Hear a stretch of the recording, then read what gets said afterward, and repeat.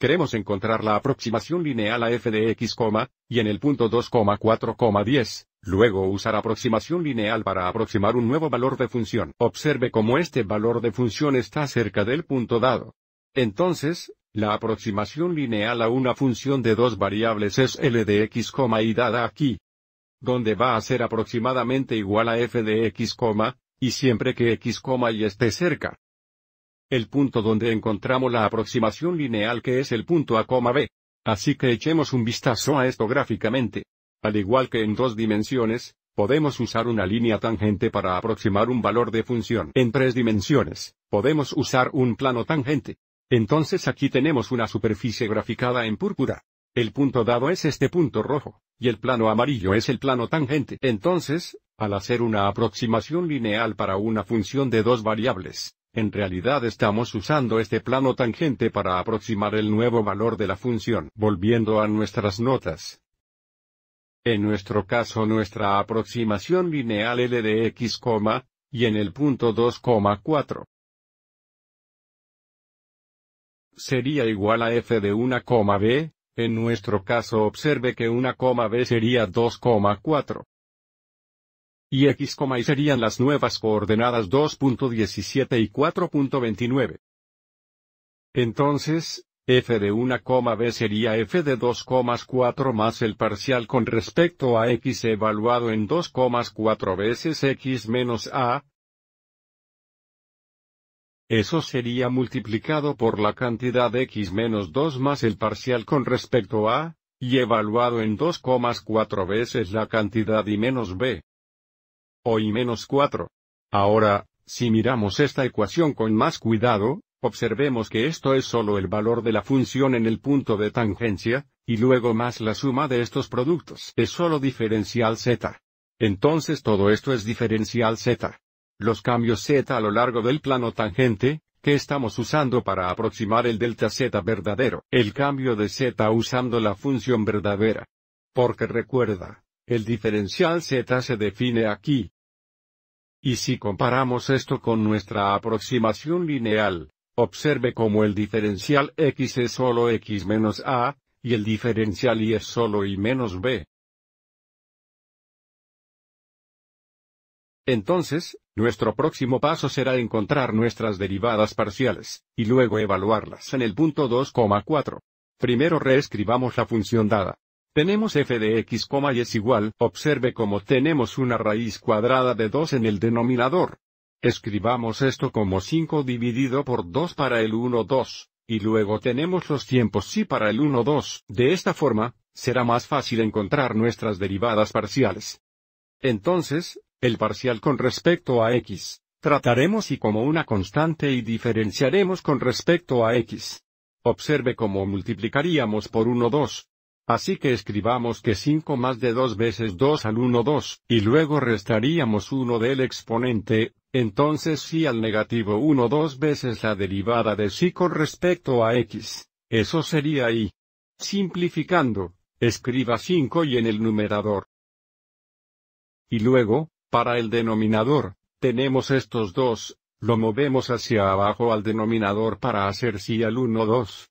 Ya tenemos un 2 al 1 2 allí, lo que sería equivalente a la raíz cuadrada de 2 y ahora queremos evaluar esto en el punto 2,4. Entonces tendríamos 5 por 4 dividido por 2. Y luego tenemos la raíz cuadrada de 2 veces 2 veces 4 que es la raíz cuadrada de 16, por lo que esto se simplifica a 20 sobre 8, 28 factor común de 4, esto se simplifica a 5 2. Y luego queremos encontrar el parcial con respecto a y, tratando a x como una constante y diferenciadora con respecto a y. Entonces, nuevamente, multiplicaríamos por 1 2. Entonces tenemos 5 sobre 2 veces 2 al 1 2 restar 1 del exponente, si al 1 2 negativo, veces la derivada de sí con respecto a y que ahora sería x. Entonces ahora tenemos 5x dividido por 2 veces la raíz cuadrada de 2 y, nuevamente, evaluando en el punto 2,4. Ahora tenemos 5 por 2 dividido por 2. veces la raíz cuadrada de 16. Entonces ahora tenemos 18, que se simplifica a 5 4. Así que ahora tenemos toda la información que necesitamos para encontrar la ecuación de nuestra aproximación lineal. Tenemos este valor y este valor. Así que ahora realizaremos esas sustituciones, y simplificaremos para encontrar nuestra aproximación lineal en el punto dado. Tendríamos L de x, y de nuevo a las 2,4. Eso sería f de 2,4.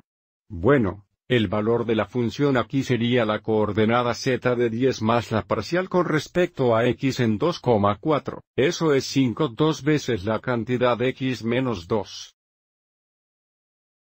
Y luego más 5 cuatro veces la cantidad y menos 4. Seguiremos adelante y simplificaremos esto, pero observe cómo para la segunda parte, para encontrar una aproximación lineal, Simplemente sustituiremos los nuevos valores x y L de x, y para simplificar, distribuiremos, así tendremos 10 más 5 2x menos 5. Más 5 4 y menos 5. Observe cómo tenemos 10 menos 5 menos 5, eso sería 0. Entonces, nuestra aproximación lineal de f de x, y en el punto dado es L de x, y es igual 5 2x más 5 4y. Y ahora, para usar esta aproximación lineal para aproximar nuestro nuevo valor de función, solo necesitamos encontrar L de 2.17,4.29. Entonces tendríamos 5 2 veces 2.17. Más 5 4 veces 4.29. Vamos a la calculadora. Tenemos 5 2 veces 2,17 más 5 4 veces 4,29 lo que nos da 10.7875 para nuestra aproximación.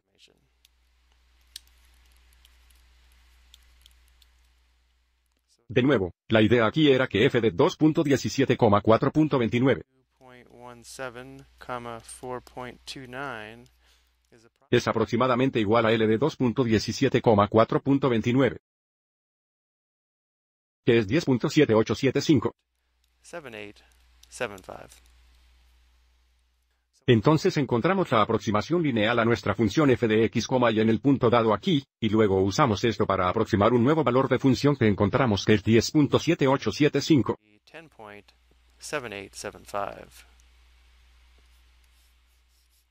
Espero que hayas encontrado esto útil.